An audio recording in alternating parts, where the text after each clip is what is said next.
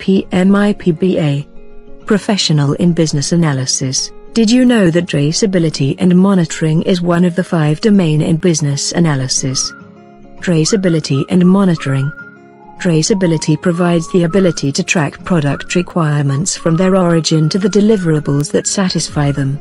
There is five tasks in this domain. Trace requirement. Monitor requirement status. Update requirement status.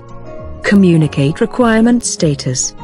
And manage changes to requirement. PMIPBA Professional in Business Analysis is the key to do the right project for your business. It's time to be leader. To know more visit our website